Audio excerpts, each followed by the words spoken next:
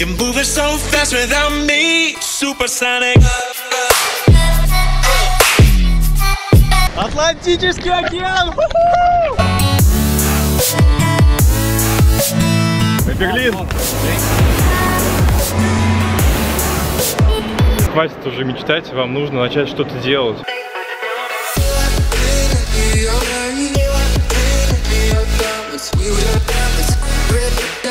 Это уникальный контент.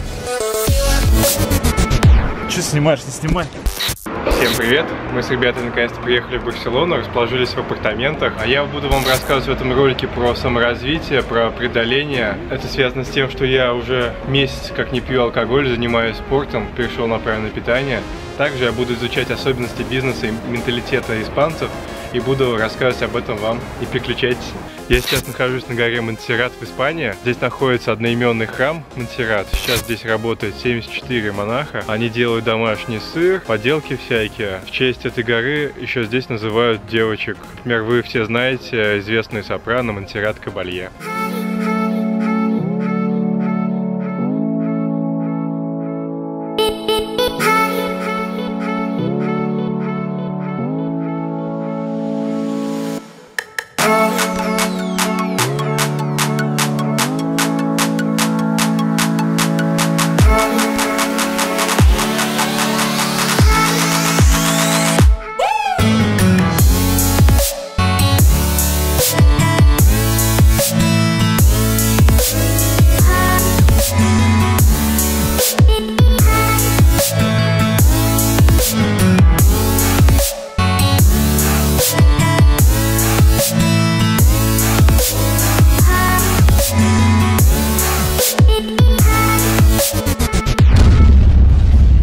Сейчас идем по готическому кварталу.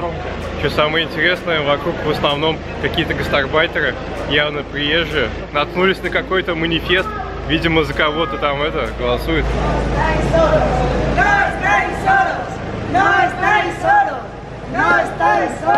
Колоритные улицы, они сохранились здесь с древних веков, практически ничего не менялось.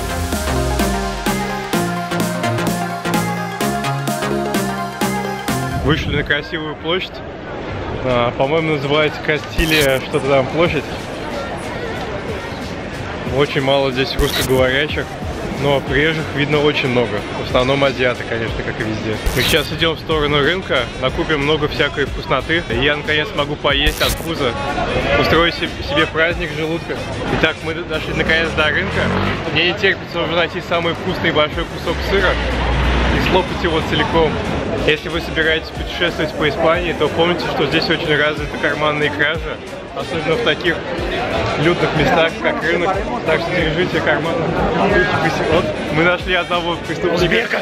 Так что держите все ценные вещи поглубже во внутренних карманах. Мы сейчас находимся в городе Сиджес. Это мировая столица гей-культуры. Делаем такие забавные фоточки на пирсе. Пахнет морем.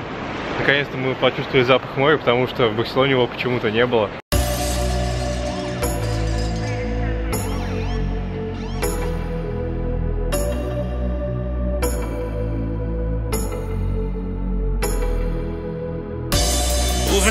Focus. Taking up my energy, yeah. How could I not notice that you became an enemy? Up so high, coming down with the gravity. You're pulling me down, down, down. I just wanna keep up, keep up. You're moving so fast without me. Supersonic.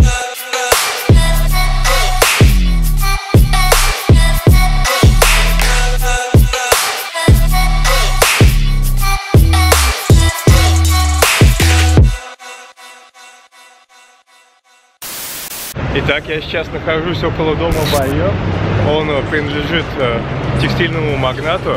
И я начну свой рассказ про испанцев.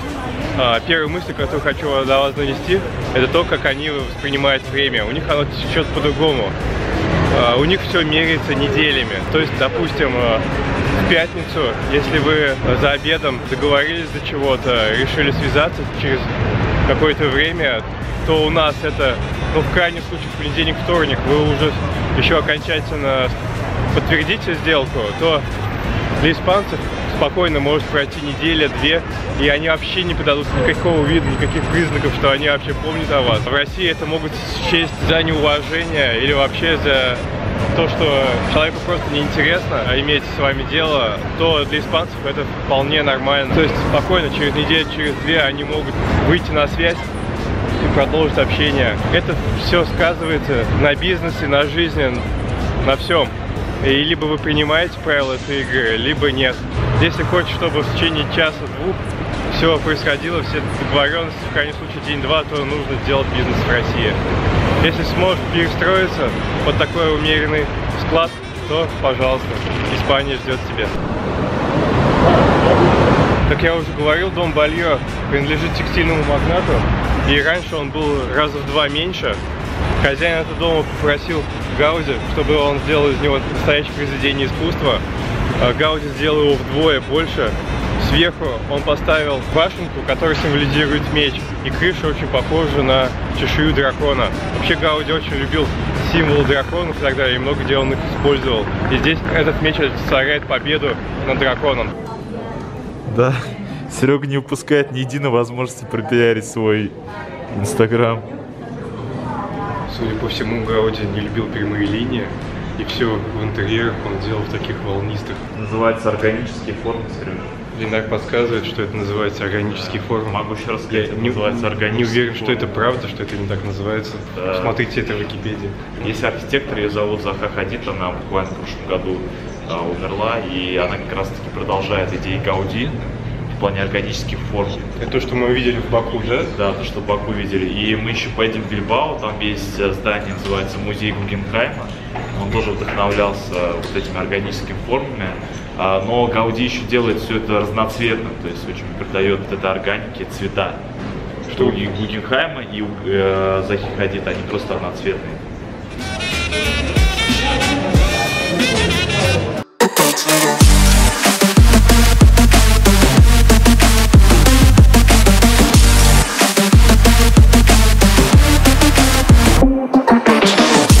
Я сейчас нахожусь в парке Гуэль.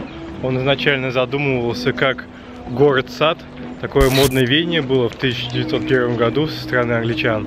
И Гуэль решил построить такой городок э, внутри леса, сада.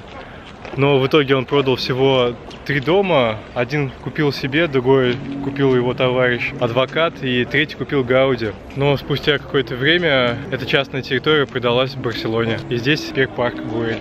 Вход в парк теперь стоит около 7 евро. В связи с политической обстановкой в последнее время в России многие ищут варианты, куда можно было бы переехать. И Испания, в частности, был Барселона. А, Очень хороший вариант здесь. Классная погода, вкусная еда, береговая линия. Один из вариантов сюда переехать – это получить вид на жительство без возможности работы. Переехать сюда, купить уже действующий бизнес, контролировать его и спустя год-полтора уже подать заявление на модификацию вида на жительство уже с возможностью работать. И, соответственно, уже вести бизнес на полную катушку. А полностью передать бизнес управление испанцу – это плохой вариант, потому что если за ними не контролировать, то они работают так себе. То есть у них вообще принцип работы, что постоянно нужен надзор, иначе ничего не выйдет. Еще хочу вам сказать, что у многих есть мечта сделать а, здесь какое-то заведение с российским борщом или пельменями, но знаете, это уже многие пробовали и ничто из этого не работает, все закрываются. В Испании такие же примерно формы собственности, как и в России. Есть частное предпринимательство, это как наши ИП. В этом случае предприниматель полностью рискует всем своим имуществом, то есть квартирой, машиной, всеми деньгами, счетами. Есть э, аналог нашего ООО, называется э, LP, насколько я помню, то в этом случае компания рискует только своими активами, уставным капиталом. А, Но особенность такая есть у испанцев. Если ты вдруг задолжал самому государству, то государство все равно будет морозить твои личные счета, списывать деньги э, с банка, так что вы никуда не денетесь. То есть в теории рискуете только уставным капиталом, но по факту все личное имущество будет забираться. Создав здесь ООО, вам потребуется назначить директором местного жителя, резидента. Ассистента. А он здесь называется администратор. Он обязан работать на полную ставку, то есть на 40 часов. И это будет вам стоить примерно полторы тысячи евро. И как я говорил, вам придется очень серьезно его контролировать за работой, если хотите зарабатывать.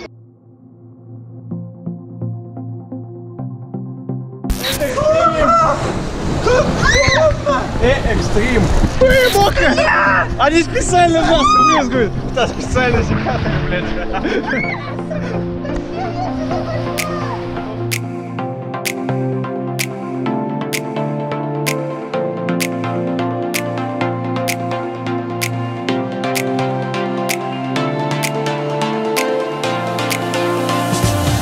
Улыбочку. Только в Порт-Авентуре. Страшно, я боюсь потерять эту камеру.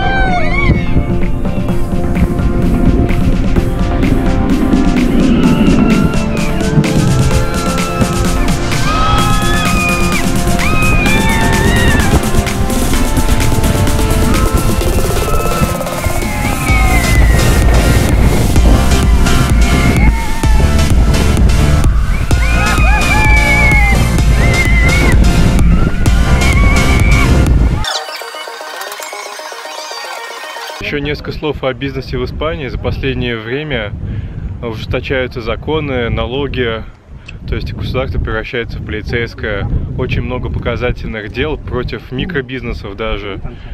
А, Допустим, обычный гид, который вводит людей, а, ну то есть никак не оформлен, зарабатывает деньги, кладет их сразу в карман, а, то каким-то образом государство находит даже подставных лиц, даже из тех же стран, например, если русский гид, то русских туристов, и они сдают, то есть э, как тайный покупатель.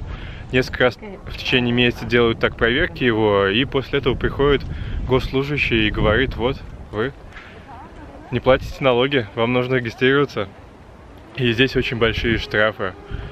А, Даже те, кто сдают комнаты в квартире, даже к ним могут... Сначала придет такая незаметная бабушка с листочком бумаги, будет что-то записывать, спрашивать у вас, но потом придет настоящая проверка. И так во многих сферах бизнеса. Государством правят несколько кланов, то есть это такой семейный бизнес. Туда никак не, не прорваться, всем заправляют они. А, несколько слов о покупке готового бизнеса в Испании. А, хорошие варианты бизнеса не найти в интернете на досках объявления, потому что хозяева боятся спугнуть арендаторов, поэтому не размещают эти объявления. Но их можно найти, если приехать сюда и поискать, поспрашивать.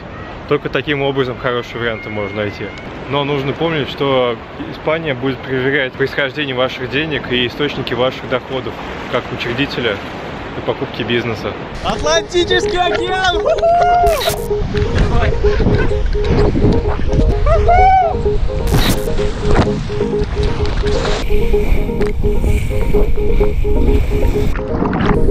Первый раз за 28 лет искупался в океане. Такие дела. Я сейчас нахожусь в храме Саграда Фамилия, как и многие другие здания в Барселоне. Оно спроектировано архитектором Гауди. Как я уже говорил, он не любил прямые линии, все перпендикулярно и параллельно, поэтому он использовал такие э, изогнутые линии. Но чтобы удешевить производство и строительство, он все-таки использовал параболоиды и гиперболические параболоиды, но это фигура, которая получается путем э, движения прямых линий. И в итоге получаются такие замысловатые конструкции.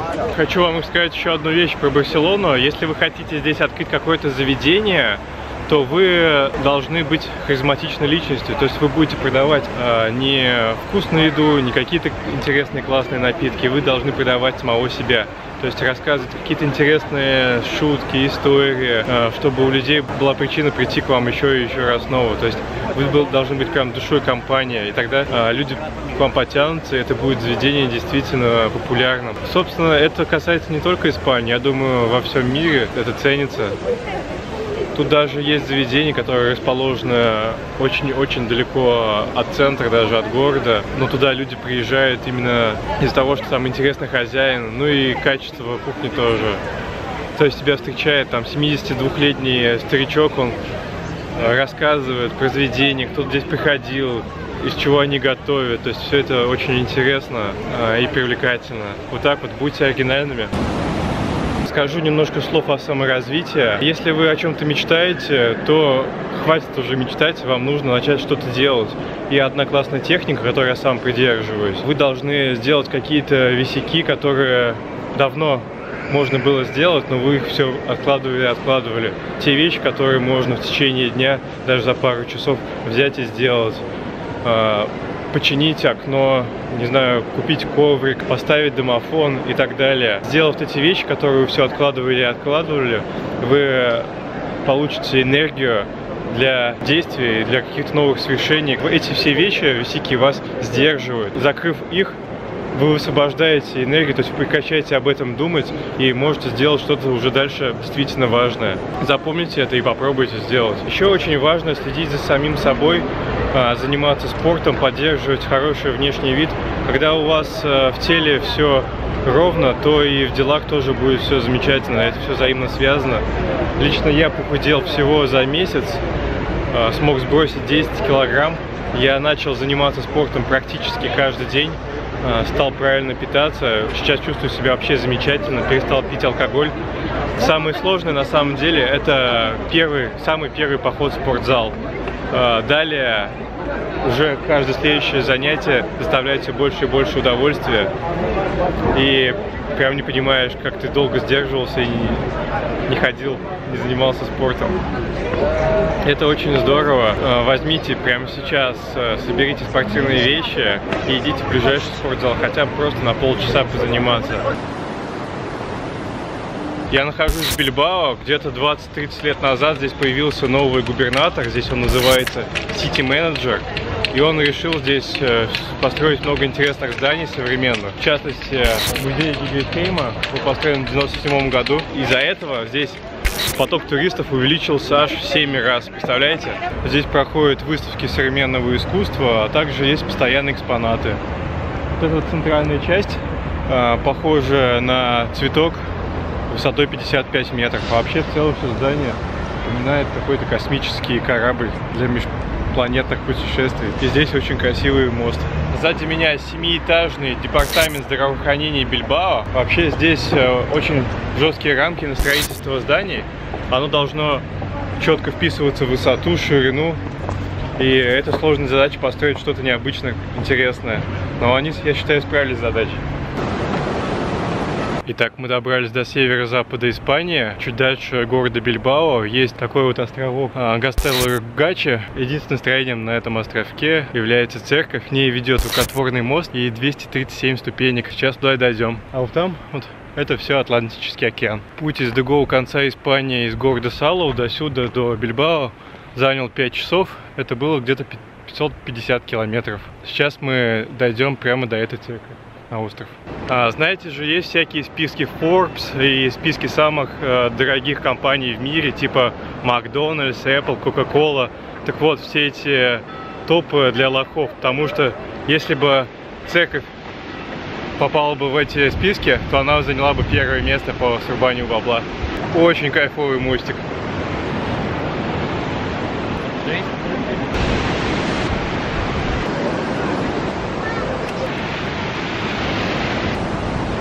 Как в «Игре престолов» Орлиное гнездо.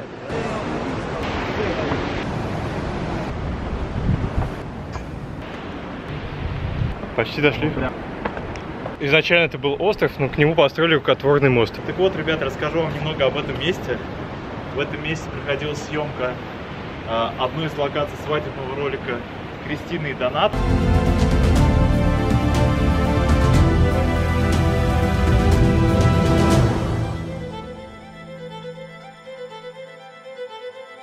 Вот это да. Океанище. По такой красоте гуляем. Просто слов нет. Что-то тут описывать и рассказывать. Как будто край света.